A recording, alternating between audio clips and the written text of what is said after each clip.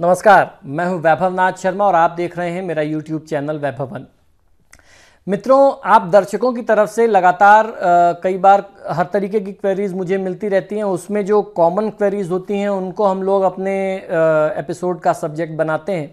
अभी इधर फ़िलहाल कुछ दिनों से कुछ क्वेरीज कॉमन आ रही हैं जिसमें लोग पूछ रहे हैं कि सुबह उठते ही हमें क्या करना चाहिए। तो कई बार मैंने बताया कि जब आप सुबह उठते हैं तो बिना इधर उधर देखे आपको वो हाथ अपने दोनों देख करके, हथेलियों को देख करके कराग्रे वस्ते लक्ष्मी कर मध्य च सरस्वती वाला मंत्र पढ़ना चाहिए। कई बार मैंने बताया, लिख करके भी मैंने दिया, टीवी शोज़ में बताया। कई लोगों की कुछ ऐसी आदतें होती हैं जो अपना दुर्भाग्य खुद से वो इनवाइट करते हैं, आमंत्रित करते हैं। तो आइए आज मैं आपको बताता हूँ कि ऐसी कौन कौन सी आदतें हैं जिनको आपको सुबह उठते ही नहीं करनी चाहिए, जिससे आप अपना पारिवारिक, जो शांति है, उसको आप गंवा देते हैं, खो देते हैं और कलह, क्लेश, नुकसान इत्यादि को, दुर्भाग्य को आप आमंत्रित करते हैं। कई लोगों की आदत होती है कि सुबह उठते ही सबसे पहले वो आईने में अपना चेहरा देखते हैं। कई ऐसे लोग भी होते हैं जो किसी को अपने लिए शुभ मानते हैं और आँखें खोलते ही सबसे पहले उस व्यक्ति का चेहरा देखना चाहते हैं। शास्त्रों में सुबह आँख खोलने के बाद तुरंत आईने में खुद को या किसी और का चेहरा देखने की मनाही है।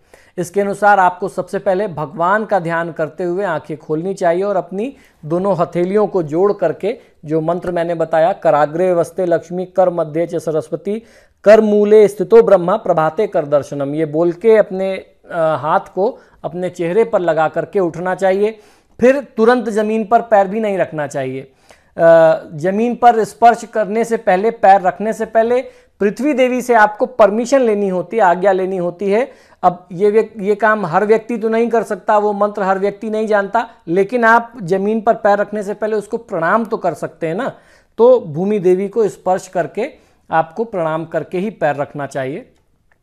तो ये कुछ चीज़ें हमारे शास्त्रों में बताई गई है। इसके अलावा सुबह उठते ही शंख की ध्वनि, मंदिर की घंटी की आवाज़ या गायत्री मंत्र सुनना बहुत शुभ माना गया है। आप चाहें तो ये रिकॉर्डेड आवाज़ भी सुन सकते हैं। अपने बेडरूम में मोर, कमल या खूबसूरत प्राकृतिक दृश्य लगाएँ और सबसे पहले इसे देखें तो आपके लिए शुभता का प्रतीक होगा। इसके अतिरिक्त आगे बताए गए जो कुछ और चीज़ें मैं बताने जा रहा हूँ, उनको आपको बहुत ध्यान रखना है कि ये काम आप न करें। ज़्यादातर लोगों की, खासकर पुरुषों की आदत होती है कि आँख खोलते ही सबसे पहले अखबार उठाते हैं या न्यूज़ चैनल टीवी चला करके बैठ जाते हैं। अखबार को खबरों का स्रोत माना गया है, खबरें वहीं बनती हैं जो सेंसेशन बन चुकी होती हैं, इसमें बहुत हद तक नकारात्मकता का वास होता है। इसलिए सुबह सबसे पहले अखबार पढ़ना या न्यूज़ देखना आपके दिमाग को निगेटिविटी से भर सकता है, यानी नकारात्मक रूप से प्रभावित कर सकता है। ये दिमाग में एक प्रकार की खिन्नता पैदा करता है और लंबी नींद के बाद आपके दिमाग ने जो ऊर्जा एकत्र की थी, शुभ ऊर्जा जो एकत्र की थी, उसे ये नष्ट कर देता है।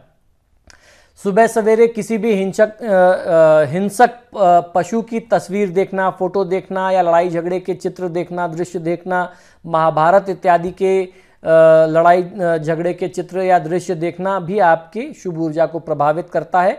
इनका ना तो दर्शन करना चाहिए, ना ऐसी चीज़ें जीवन में प्रयोग करनी चाहिए। तो लड़ाई झगड़ा करने से भी सुबह सुबह बचिए। ये आपके शुभ ग्रहों की स्थिति को भी खराब करता है और पूरे दिन आपके मस्तिष्क को बेकार की बातों में उलझा के रखता है। बहुत लोगों को उठते ही बेटी की आदत होती है और वे बिना ब्रश किए ही चाय या कॉफ़ी लेते हैं। ऐसा करने पर राहु केतु का प्रभाव बढ़ता है। इससे आपके जीवन में बेकार की परेशानियाँ आती हैं और सभी प्रकार के काम बिगड़ने लगते हैं। इसलिए सुबह अगर आप बैक्टी लेते हैं तो ब्रश कर किए बिना कभी भी नहीं पीना चाहिए। ब्रश करना संभव ना हो पा रहा हो तो कम से कम सादे पानी से मुँह धो लेना या कुल्ला कर लेना, गार्गल कर लेना ज़रूर आवश्यक होता है। तो ये छोटे छोटे सुझाव हैं, इन्हें मान करके अगर आप अपने जीवन में आगे बढ़ेंगे तो सफलता ज़रूर मिलेगी।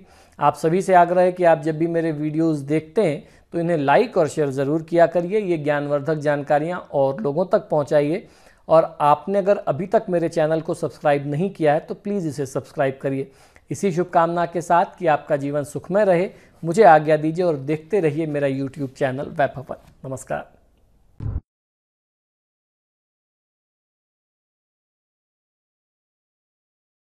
जटिल समस्या हो, या भाग्य बाधा, हो व्यापार, नौकरी, शादी की समस्या, करियर की चिंता हो, या वैवाहिक जीवन में हो सुख का अभाव, पाइए अपनी समस्त ज्योतिषीय तथा वास्तु समस्याओं का सरल, चमत्कारी, प्रभावशाली समाधान। एक जाना माना और विश्वसनीय नाम, आचार्य पंडित श्री वैभवनाथ शर्मा जी, काशी के 400 वर्ष पुराने, प्रतिष्ठित और अंतरराष्ट्रीय ख्याति प्राप्त राज ज्योतिषी परिवार की आठवीं पीढ़ी के ज्योतिषी और वास्तु शास्त्री आचार्य पंडित श्री वैभवनाथ शर्मा जी के द्वारा व्यक्तिगत या फिर फ़ोन पर अपॉइंटमेंट लेने के लिए कॉल करें nine eight one eight three double zero one four six double nine nine zero